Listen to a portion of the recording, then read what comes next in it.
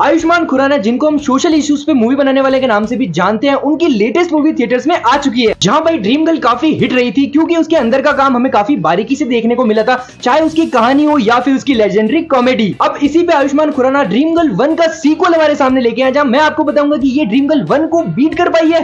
चलो, बात करते हैं। तो हेलो व्यूअर स्वागत है आप सबका हमारी एक और वीडियो में, जहाँ आज हम बात करने वाले ड्रीम गर्ल टू मूवी के बारे में। अब स्टोरी के बारे में थोड़ा जान लेते हैं तो करम नाम के कैरेक्टर की कहानी इसमें हमें दिखाई जाती है, जहाँ करम हो जाता है fall in love in struggle queen Ananya Panday जहाँ इन दोनों को करनी होती है शादी। बट मियाँ बीवी तो है राज़ी, लेकिन बीच में खड़े हैं काजी आई मीन अनन्या के डैड जिनकी शर्त है कि अगर करम को अनन्या से शादी करनी हो तो उसको अपना बैंक बैलेंस जल्दी से जल्दी बढ़ाना होगा और एक अच्छी सी जॉब भी लानी होगी प्लस इसके ऊपर टाइम की भी लिमिट है, जो की है मुश्किल से मुश्किल छह महीने। अब इसी पे करम को आइडिया आता है की महिला बन के डांस बार में जाके डांस करने का, ताकि जल्दी से जल्दी पैसे कमा सके। पर मूवी के कुछ कैरेक्टर्स को हो जाता है, Pooja in base of the Karam से प्यार, जहाँ उसको एक रात गुजारने के लिए 25 लाख रुपए मिल रहे हैं। यस पर ध्यान देना, मैंने एक रात भी बोला है, उसके 25 लाख रुपए मिलेंगे। समझ रहे हो? और इसके बाद पूजा जी की आशिकों की लाइन काफ़ी लंबी होने लगती है और सिचुएशन होने लगती है काफ़ी गंभीर बट इन सबको हमारे सामने काफ़ी फनी वे में दिखाया है।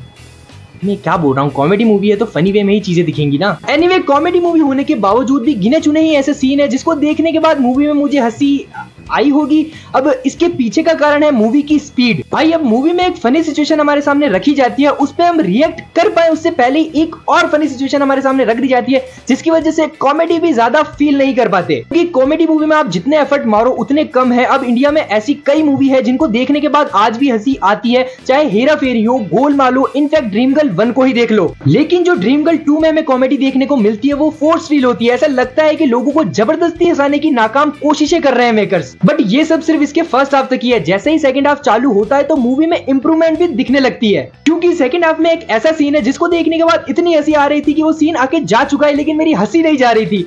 साला, अभी भी सोच रहा हूँ तो उसको हँसी आ रही है। और फ़र्स्ट मूवी के गाने रीमेक करके इस मूवी में डाले हैं कॉमेडी के पॉइंट ऑफ़ व्यू से, जो कि काम भी करता है। गानों को सुनने से ज़्यादा देखने में मज़ा आता है। अब थोड़ी बात कर ले इसके एक्टर्स के बारे में तो भाई आयुष्मान खुराना ने पूजा के कैरेक्टर को भाई जिया है। मतलब आपको मूवी खत्म होने के बाद हीरो से ज़्यादा हीरोइन याद रहेगी, जो भी आयुष्मान खुराना ही है। क्योंकि आयुष्मान खुराना ने पूजा के कैरेक्टर को रियल ना होते हुए भी रियल बना दिया है, जिसकी वजह से उनका टैलेंट साफ़ दिखाई देता है। पर इसी पे इसकी नेगेटिव चीज़ आ जाती है कि आयुष्मान खुराना को छोड़ के बाकी सारे एक्टर्स को अनलाइट कर दिया। जैसे कि हीरो का बेस्ट फ्रेंड या उनके फादर को ही ले लो। ये चीज़ें फ़र्स्ट मूवी में काम करी थी, बहुत ज़्यादा करी थी, उसकी वजह से लोगों ने मूवी को देखा था, लेकिन इस मूवी में वो चीज़ें फीकी फीकी सी लगती है। जो कि साइड कैरेक्टर्स का काम होता है कि लोगों को अपनी बातों से हंसाना है, लेकिन इसका उल्टा ही हो गया। उनकी बातों पे कम और कैरेक्टर्स पे ज़्यादा हँसी आ रही थी, जो कि इस बात को दर्शाती है कि मेकर्स ने सिर्फ़ मेन कैरेक्टर पे ज़्यादा फोकस किया और बाकी सारे जो साइड कैरेक्टर थे, उनको डेवलप ही नहीं किया, उन पे इतना ध्यान ही नहीं दिया। जिसकी वजह से ड्रीम गर्ल टू उसकी पहली मूवी का लेवल मैच ना करते हुए उससे थोड़ी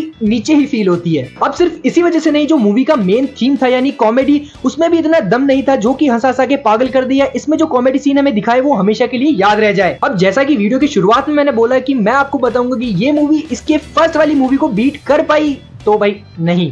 पर अगर आपको ज़्यादा दिमाग ना लगाते हुए सिर्फ़ नॉर्मल बातों पे ही हँसी आ जाती है तो ये मूवी आपके लिए अच्छी साबित हो सकती है। इतना कुछ खास नहीं था, लेकिन सबका पॉइंट ऑफ़ व्यू अलग होता है तो ज़्यादा कॉमेडी में क्रिएटिविटी ना होने के बावजूद भी सिंपल ऑडियंस इस मूवी को एंजॉय कर सकती है। बात करूँ मेरी एक्सपीरियंस की तो भाई ठीक ठाक ही थी, जैसा एक्सपेक्ट करके गया था, वैसी तो नहीं थी, लेकिन इतनी बुरी भी नहीं थी कि इसको देख ही ना सको। बाकी अगर इस वीडियो में कुछ पसंद आया हो या मूवी को देखने के लिए कोई हेल्प मिल गई हो प्लीज़ इसे लाइक शेयर सब्सक्राइब कर दे। मैं मिलूँगा आपसे अगली रिव्यू वीडियो में। बाय